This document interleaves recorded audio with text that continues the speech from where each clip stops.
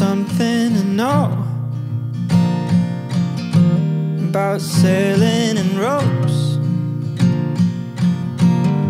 The tighter you pull, the faster you go.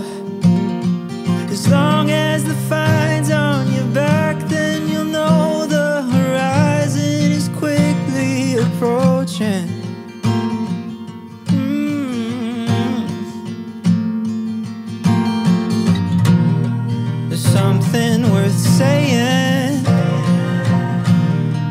start loosening up. When the wind isn't billowing quite like it was. And how turning your boat away from the rocks is the best way to get away.